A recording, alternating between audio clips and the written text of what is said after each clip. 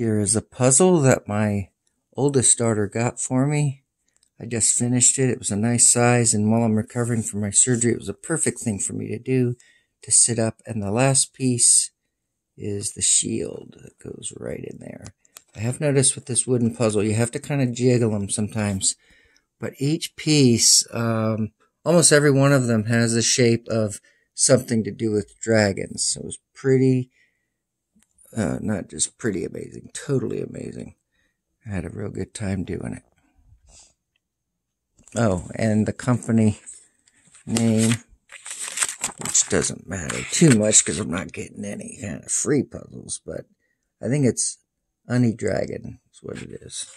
They all come with this. If you're allergic to burlap or some hemps, you may not be able to do it. It comes in a nice wooden box and it's pretty amazing. And I got my own, and there it is.